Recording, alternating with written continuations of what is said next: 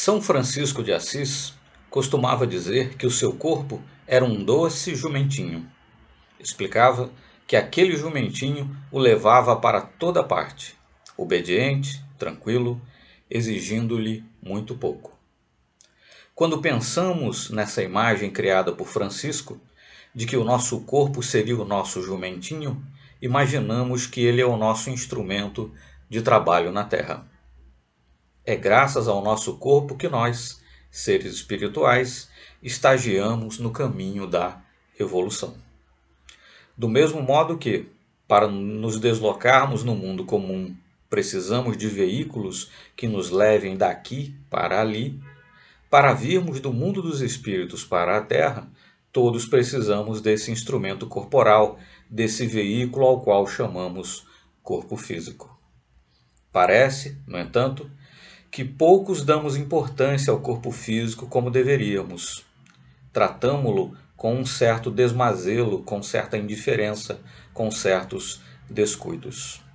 O corpo físico é, de fato, essa oficina notável de bênçãos, esse jumentinho maravilhoso que nos leva para todo lugar.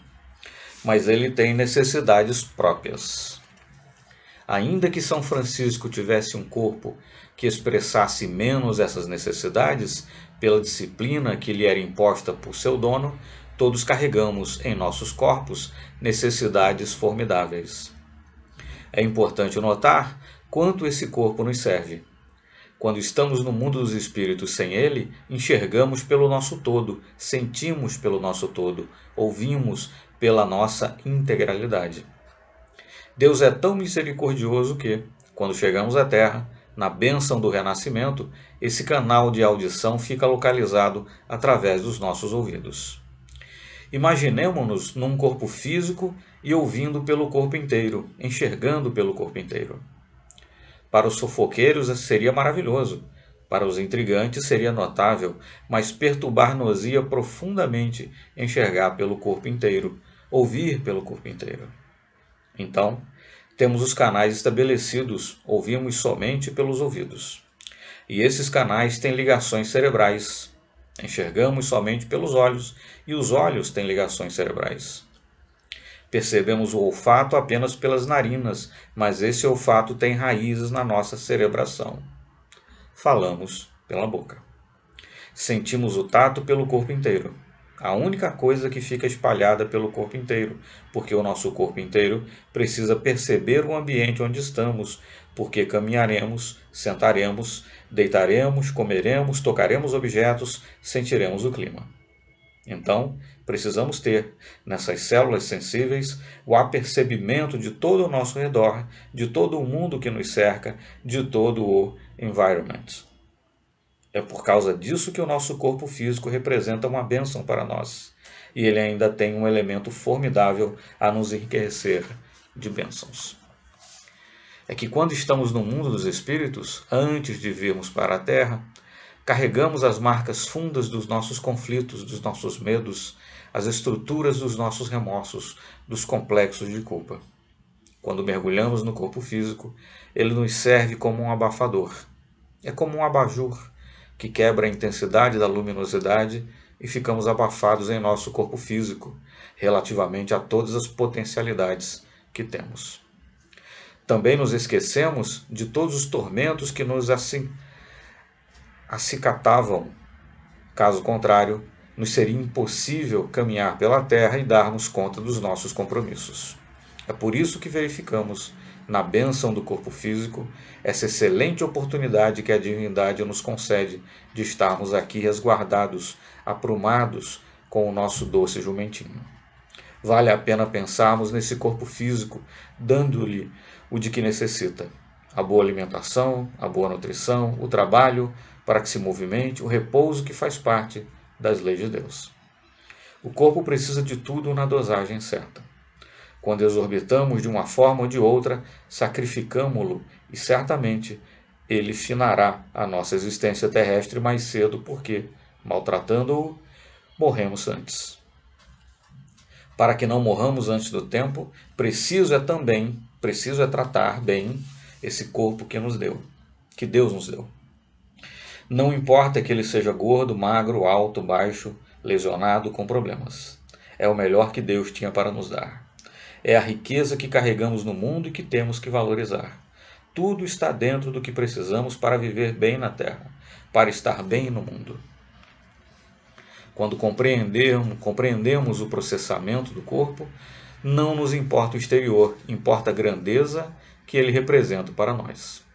Imaginemos nosso cérebro, essa cabine notável onde o grande comandante, que é o espírito, realiza sua administração corporal. É ali que estão ligados todos os implementos do nosso corpo. É a cabine de comando. Uma espetada na ponta do dedão do pé, a uma puxada de cabelo, tudo repercute no centro neurológico das sensações.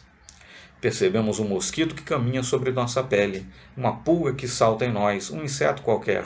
Registramos a água fria e quente, o clima frio, o clima quente. Registramos tudo graças ao nosso tato. Todas essas informações vão para o cérebro. As imagens chegam aos nossos olhos invertidas e o cérebro trabalha para que se veja tudo de forma devida. Na audição, o martelo, a bigorna, depois da vibração do tímpano, tudo isso faz com que as mensagens auditivas, as mensagens sonoras, nos alcancem o cérebro e identifiquemos com perfeição se é o zumbido de um inseto, se é uma moeda que caiu, se é a voz de Fulano ou de Beltrano.